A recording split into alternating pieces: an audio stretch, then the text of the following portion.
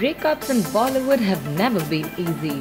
Where Ranbir Kapoor and Deepika Padukone are breaking the myth with their strong friendship, there are a few ex-couples who still choose to avoid each other in public. Recently at the Sansui Colors Stardust Awards 2015, we spotted the once upon a time lovers Salman Khan and Aishwarya Rai Bachchan. There have been very rare occasions where the two are spotted together, and of course, they grabbed maximum eyeballs for being present at the same event. During the awards function, Salman and Aishwarya were seated in the same row but Prem was sandwiched between Mukesh and Neeta Ambani on the far left, while the Bachchan Bahu sat poised on the right with father-in-law Amitabh Bachchan.